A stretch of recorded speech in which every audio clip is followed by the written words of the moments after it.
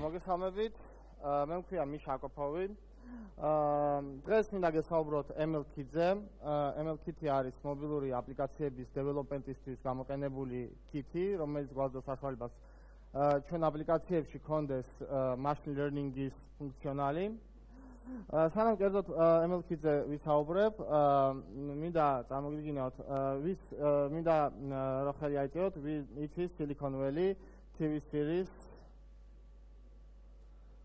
არც თუ ისე ბევრმა. აა, აქ არის ერთ-ერთი ესეთი დიალოგი machine learning-თან დაკავშირებული, ძალიან light light machine learning-თან დაკავშირებული.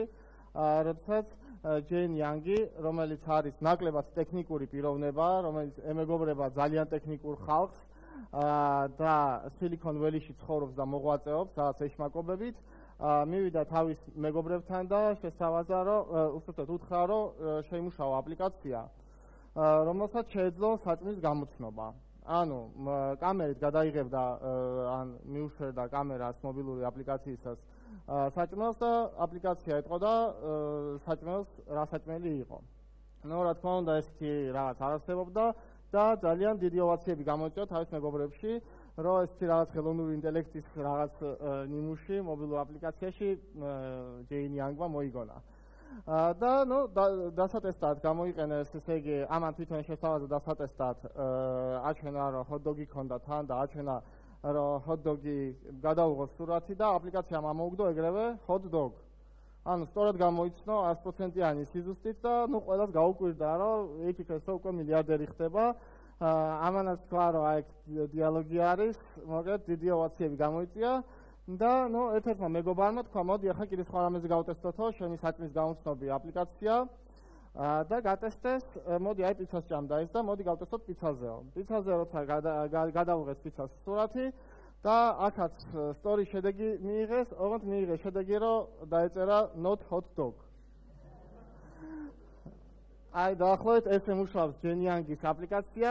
და ხო, თუმცა ეს ემოციები რაც იყო გამოწვეული იმ შედეგით, რაც შეიძლება მიიღოთ მობილური აპლიკაციის ესეთი ფუნქციონალისგან, რომელიც machine learning-ს შეიცავდა, იყო ძალიან დიდი. შესაბამისად, ძალიან მაგარი იქნებოდა Google-შიც და ასე შემდეგ იფიქრეს, რომ ეს ყველაფერი იყოს ხელმისაწვდომი მობილურ device-ში, ყოველგვარი cloud-ების და Google-ის პროცესორის ძალის ძალის გარეშე, რო თქვენი მობილური აპლიკაციით შეგეძლოთ დეველოპმენტი და გააკეთოთ ამ ტიპის აპლიკაციები.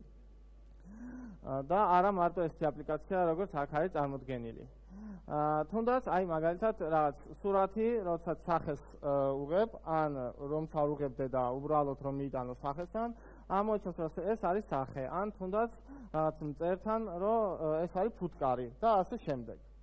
ნუ რა თქმა უნდა ეგ რაღაც დოზით იყო აქამდე და თვითონ Google-ი გაძლევდა თავის სერვერიდან ამის საშუალებას რომ რაღაც სერვერი ამოიცნობდა ამას და ძალიან დიდი კომპანიები არიან ჩართულები რომ აი ამ მიმართულებით გააკეთონ დიდი წინსვლა. თუმცა ჩვენ მობილური აპლიკაციების დეველოპერებს ჯერჯერობით არ ქონდა ამის საშუალება და 2018 წელს Google I/O-ზე უკვე Google-მა აა ხო ეს რაღაც მომაკვეთო. ხო, ეს არის აპლიკაციები, სადაც არის Google-ის აპლიკაციები, სადაც არის უკვე machine learning-ის ელემენტები, რომლებიც ჩვენთვის იყო რაღაც დახურული ყუთივით, შავი დახურული ყუთივით, არ ვიცოდით როგორ კეთდებოდა, არ ვიცოდით ჩვენ ჩვენ აპლიკაციების დეველოპმენტში როგორ გაგვეკეთებინა იგივე. მაგალითად, აი Google Photos ყველა მიცით, რომ ჩვენ 10000ობით სურათში შეგვიძლია ავკრიფოთ აკრიფავს dogs და გამოაქვს ყველა თავის ძაღლის სურათი. კიდევ ერთი მაგალითი არის Google-ის აპლიკაციის, ეს არის Google Translate-ი, როდესაც უბრალოდ კამერას მიუშვერთ რაღაც წარწერას, რომელიც თქვენთვის უცნობ ენაზე არის დაწერილი. და Google Translate-ი ამ წარწერას ამოიცნობს სურათიდან, ამოიკითხავს, მეორე თავის Translate სერვისებით გადათარგმნის და გაძლევთ იმ ენაზე, რომელიც თქვენ გინდათ. და ნუ რა თქმა უნდა ეს იყო ეს იყო რაღაც ჩვენთვის დიდი საიდუმლო, თუმცა 2013 წლის მაისში, როდესაც Google I/O 2013 იყო, უკვე წარმოგვიდგინდა Google-მა და გითხარ რომ ამის საშუალებაც გაქვთ თქვენ და ეს არის ზუსტად ის ML Kit-ი, რადგან სასაუბროთაც გამოვედი. MLKit არის Firebase-ის სერვისების ოჯახის წევრი. დაემატა როგორც ბიბლიოთეკა და როგორც სერვისი. და არის ხელმისაწვდომი არა მარტო Android-ზე, არამედ iOS-ზეც შეგიძლიათ გააკეთოთ ამის დეველოპმენტი. იმისთვის რომ გამოიყენოთ MLKit, თქვენ არჩევდებათ PhD degree რაც machine learning-ში.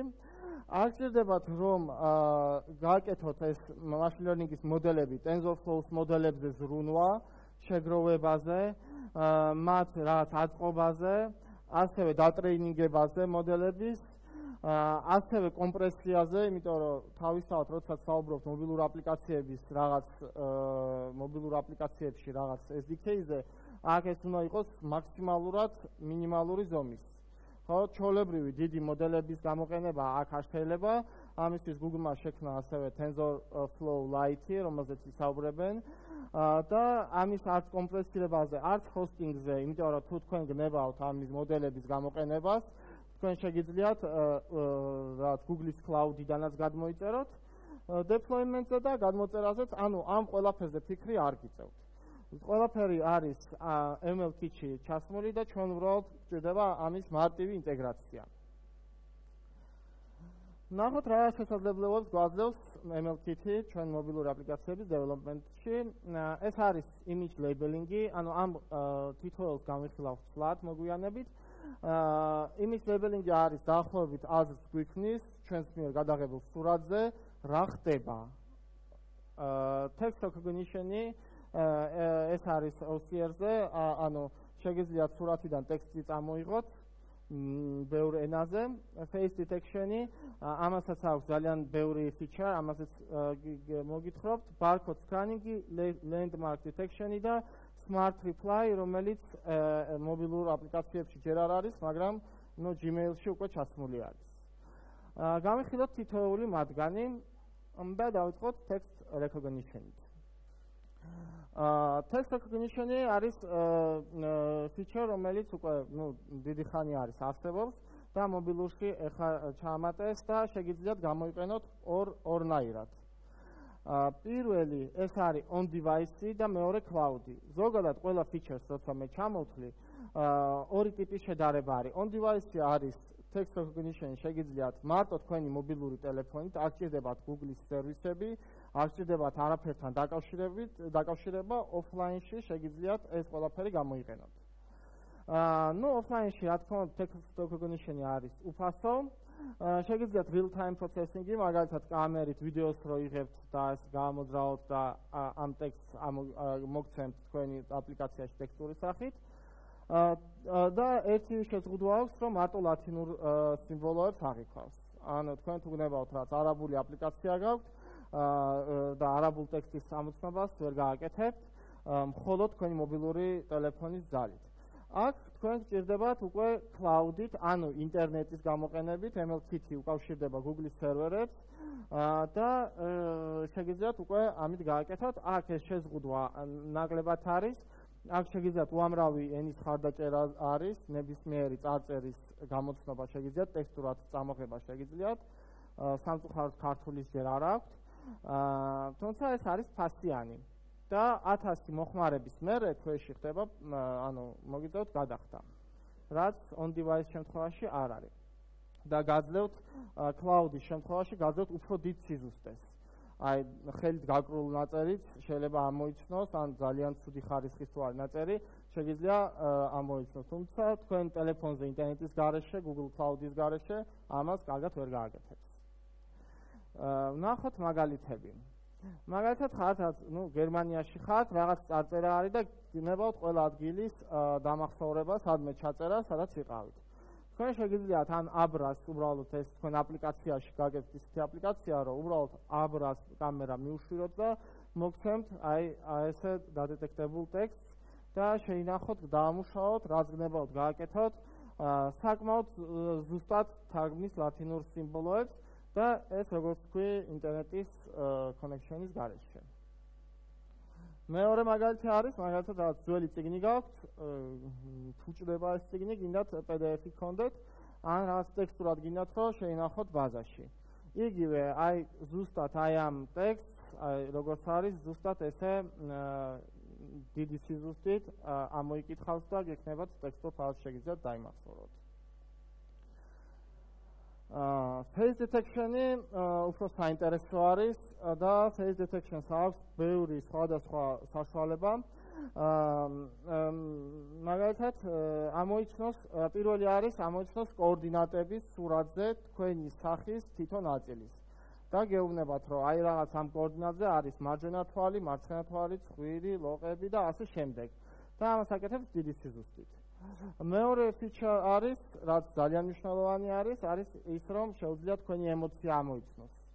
მაგალითად, გახარებული ხართ, დამწუხრებული, რაც და ასე შემდეგ. და ეს თითო ემოციას გაძლევთ, რამდენი პროცენტით ხართ გახარებული, მაგასაც გაძლევთ. აა ასევე გაძლევთ კონტურებს, სახის კონტურებს, ან მაგალითად, თვალი სად არის, ცხვირი სად არის, ან ზუსტად კოორდინაცია არა მარტო, არამედ ზუსტად კონტურებს.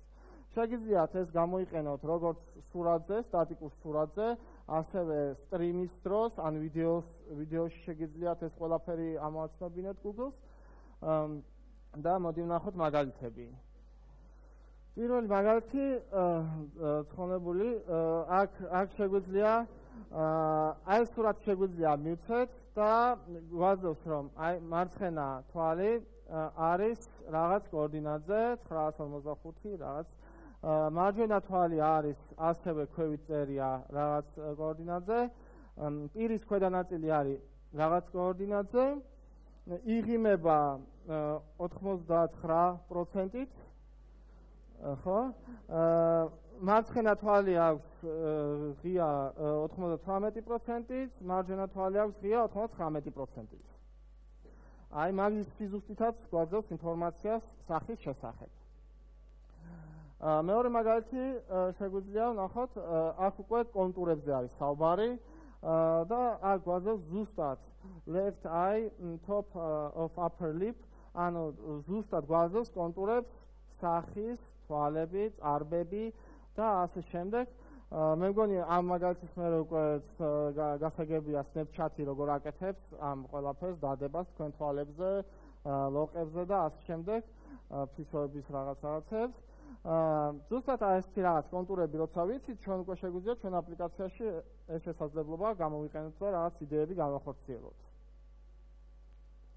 ნუ ვარკოდს განიგი არის ყველაზე უინტერესო, რამ ალბათ ვისაც გამოგიყენებიათ ბარკოდ სკანინგი აქამდე მობილურ აპლიკაციებში არ ვიცი მობილური აპლიკაციების დეველოპერები რამდენი ხართ გამოგიყენებია Google-ის ძველი ბიბლიოთეკა Xing-ი ქვია და ამის ბარკოდ ბარკოდის ამოსაცნობად ცოტა რაღაც დამიზნება გჭირდებოდა კამერის გამოძრავება რაღაც რაღაცების გაკეთება მოკლედ და იცნობდა რაღაცა დროის შემდეგ რაღაც წამების მერე ის თუ გამოიცნო რაც ოთახში რომ შესულიყავი დეველოპერი რაც ესეთ რაღაც შალახოს ეკვავდა რომ რაღაც ეს გამოგეცნოთ. აა თუმცა ბევრ აპლიკაციაში მაქვს მე პირადად, თუმცა ამაზე გადასვის მერე MLKit-ზე ამის ბარკოდ სკანინგი ხდება დაახლოებით მილიწამებში და ეგრევე გაძლევთ არც დამიზნება უბრალოდ აი ფოკუსიც რო არ იყოს QR კოდზე ან ბარკოდზე ეგრევე იცნობს და გამოაქვს თქვენთვის საინტერესო მონაცემი. ბლანკოს სკანინგის აქ მხარდაჭერა არის აბსოლუტურად ყველა ფორმატის. ერთ განზომილებიანი ბარკოდ სკანინგი და ასევე ორ განზომილებიანი რომელსაც ეძახით QR კოდს აი მაგალითად ერთ განზომილებიან სკანერზე აქ გვაძლევს raw value ან ჩოლებრივ ერთ განზომილებიან რაღაცას არის ამაში დაშიფრული. და გვაქვს ასევე ორგანზომილებიანი ბარკოდი ან QR კოდი და აქ უფრო მეტი ინფორმაციას ამასაც გაძლევთ რაღაც მილწამებში. გადავიდეთ შემდეგზე, რაც ყველაზე საინტერესოა ჩემთვის პირადად, ეს არის image labeling-ი. image labeling-ი არის რაღაც სურათს აძლევთ თქვენ აპლიკაციით რაღაც სურათს იღებთ და გაქვთ ზუსტი ინფორმაცია ამ სურათზე რა ხდება. ეს არის მაგალითად რაღაც სპორტი არის ან მაგალითად ტექნოპარკზე ხარ რო გადაიღონ ჩვენი ოთახი იტყვიან რომ რაღაც სპიჩი არის შეიძლება ამოიცნონ GDG Google-ი დაგვიწეროს აა რაღაც ეთენდის ან ლებელებს დაგვიწერს ანუ აგვიხსენს რა ხდება აქაც როგორც ტექსტის ამოცნობის სერვისში, აქაც ორი ტიპის ორი ტიპის API არის, ერთი არის on device, მეორე cloud-ი. ანუ თქვენ თუ გინდათ on device გააკეთოთ ინტერნეტის გარეშე და ყველაფრის გარეშე გამოიყენოთ, აქ გაზრდოთ 400-ზე მეტ, ოდნავ მეტ labels. ანუ აღწერას რა ხდება თქვენს სურათზე. და არის უფასო.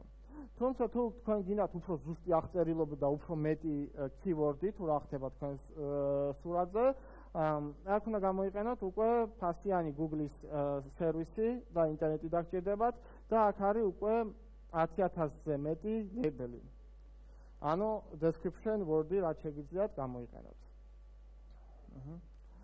აჰა მაგალითად ლეიბლები, რა ტიპის ლეიბლები შეიძლება იყოს, ანუ რა რით შეიძლება აღიწეროს თქვენი სურათი. აა ანუ აქ კატეგორიები არის ბევრი. აა ეს არის people, ხალხი, crowd, selfie, smile, activities, dancing, eating, surfing, აა მანქანები, პიანინო და ასე შემდეგ. აქ არის სია, ну რა თქმა უნდა, არასრული სია, იმიტომ რომ როგორც გითხარით 10000-ზე მეტი აღმწერი სიტყვა შეიძლება იყოს. და შეგიძლიათ ეს კონდეთ უკვე თქვენ აპლიკაციაში. აა მოდი თვალსაჩინოებისთვის ნახოთ მაგალითი. აი მაგალითად გვაქვს სურათი, სადაც მეკარეს დაუწყეს ბურთი, მოხდა ხარიხას, აქ არის სადაც მინდორი და ხალხი უყურებს ფეხბურთს. აა ეგ რო გავაკეთოთ on device scanning-ით, უბრალოდ რო დავასკანიროთ ჩვენი მარტო მობილური აპლიკაციით, მოგცემთ რომ ეს არის სტადიონი 92%-იანი ალბათობით. არის სპორტი, გამოსახული 75%-იანი ალბათობით. არის რაღაც ივენთი 77%-იანი ალბათობით. leisure, ანუ რაღაც დასვენების დასვენება არის 60%-იანი. ფეხბურთი არის 56-იანი და plant, ანუ რაღაც მცენარე არის 52%-იანი ალბათობით.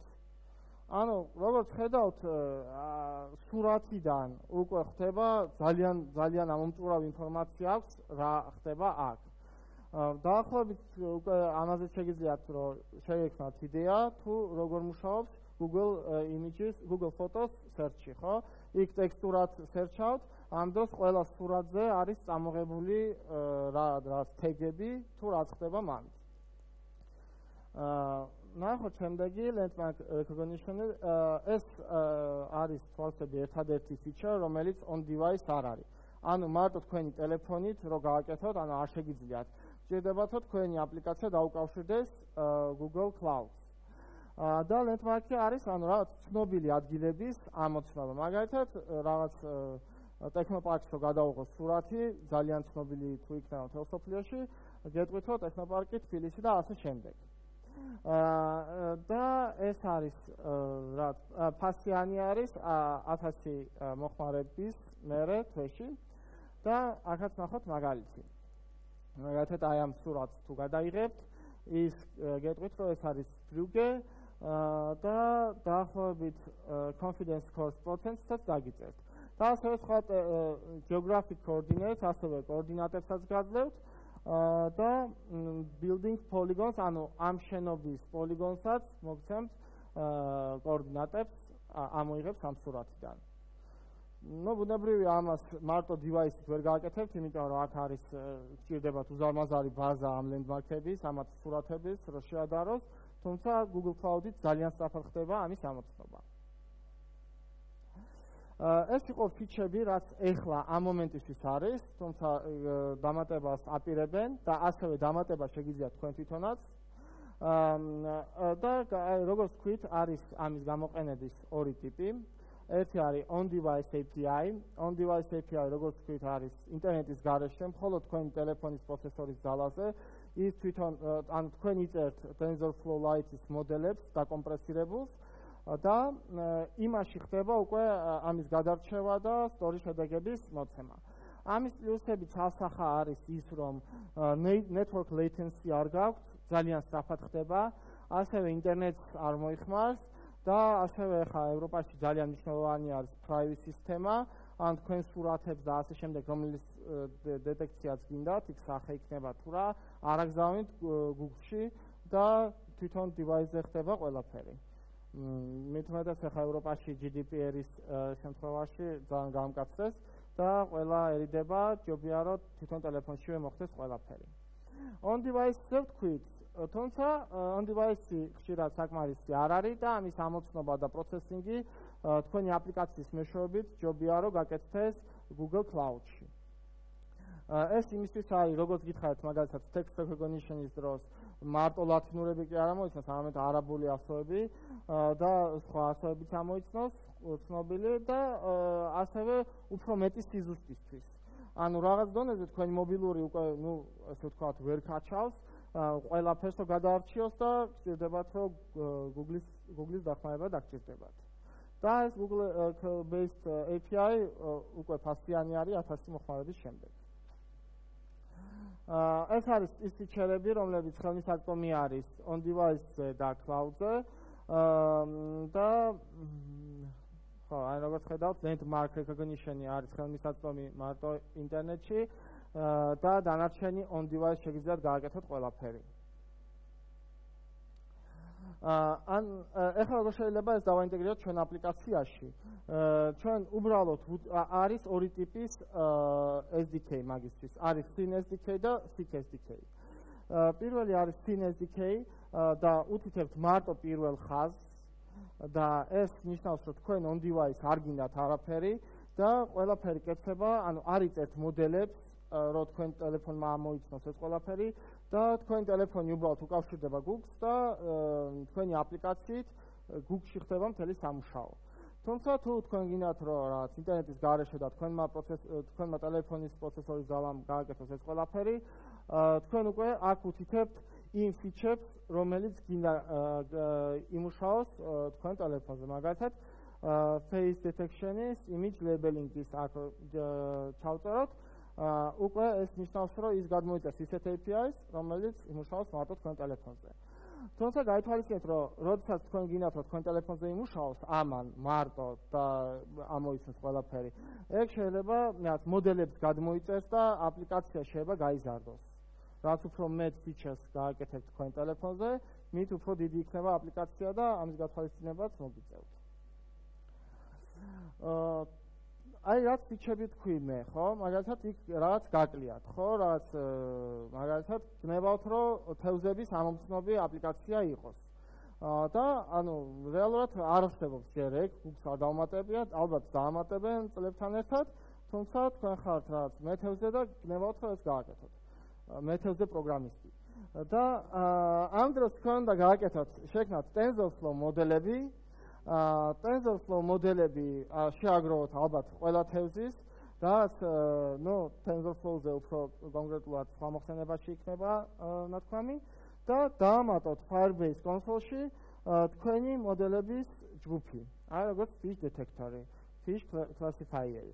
და უკვე თქვენ გექნებათ ეს API თქვენ ტელეფონზე მარტივად.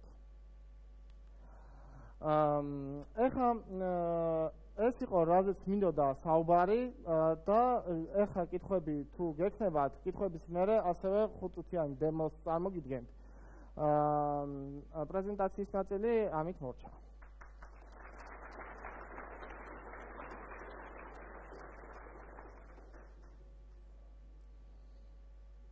არის არის აი ისო აი ვისაც კითხვები ხელი აიწიეთ, მოგიტანთ მიკროფონს. Custom მოდელები on device თუ მუშაობს? აა custom მოდელები მუშაობს on device. აა უნდა რაც უბრალოდ მან სჭირდება ძალიან ბევრი კასტომიზაცია. ანუ თუ რაც არის მაგის აღწერაც, როგორ უნდა გაკეთდეს, მაგრამ მარტივად არ არის. თქვენ TensorFlow Lite, აა TensorFlow Lite-ი რაც არის, არის მობილური აპლიკაციებისთვის მოდელები. ანუ არის შექმნილი იმისთვის, რომ ჩოლებრივი მოდელები კი არა, პატარა ზომის, დაკომპრესირებული და ასე შემდეგ. და შეიქმნა მარტო მხოლოდ იმისთვის, რომ თქვენს აპლიკაციაში on device იმუშაოს. უბრალოდ გააჩნია ამას ოპტიმალურად როგორ გააკეთებთ. აა იმიტომ რომ ზომა შეიძლება ძალიან გაიზარდოს. და თუ APK-ში ამას დაურთავთ, შეიძლება რაც ძალიან დიდი APK კონდეთ და არ გამოიყენა. ანუ MLKit მარტო Tensor-ის light version-ს იყენებს? დიახ. on device. დიახ, დიახ. ანუ წინანდელ შემთხვევაში არ გამოვიდოდა ესე.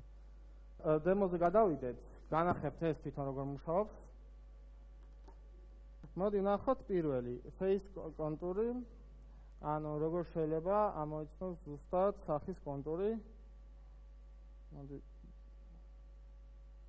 აი, მაგალითად, ამ შემთხვევაში საკმაოდ სწრაფად იცნობს, შემიძლია ვიმოძრაო, ეს მოყვება. არანა latency არ შეიძლება, არ შეიძლება თქვენი სახეებიც არა, შორს ხარ, შორს. ხო. ეს არის პირველი ფიჩა. მეორე ვნახოთ face detection-ი. აი, ავიცი ჩანს თუ არა რა წერია. მარცხენა თვალი, მარჯვენა თვალი. Happiness, happiness ამ შემთხვევაში მაქვს არ მაქვს თუ თუ გავიხიმები 1%-ამდე ადის. ხა. აა შეიძლება ანუ ემოციას აღიქვა საკმაოდ ზუსტად და მივხვდი რომ კბილებზე კბილებზე რეაგირებს კბილებს თუ ხედავს ესე იგი მიხარია. ხა.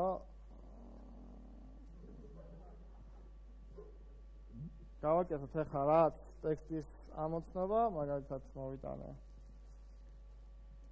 ეს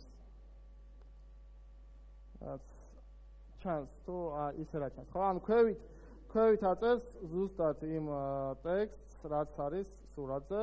რავი რაც ისე არ გამოვიდეს hotdog not hotdog მარტო ამაზე რომ მუშაობს და მოდი რაღაც აი მაგალითად ჩანს ხო? Defesti ამ page-იც კაიდეა. აქაც შვენივრად ჩანს ყველაფერი.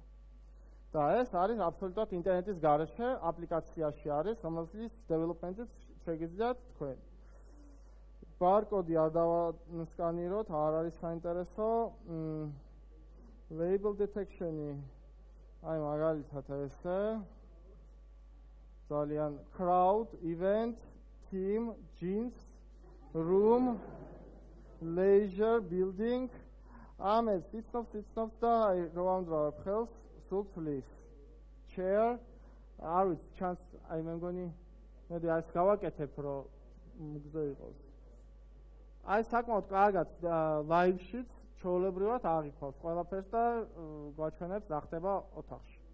მე მგონი სამბეძდავია აა ხო დანარჩენი ფიჩები რაც არის იმათ ახლა არ განახებ მაგათ landmark detection-ი ანუ ეიფელის კოშკის დეტექცია შეუძლია ალბათ დამიჯერებთ აა ეგ იყო დღევანდელი ჩემი თემის თემა. რავი კითხვები თუ გაქვთ შემიძლია ისევ გიპასუხოთ თუ არა და მოგჩი მადლობა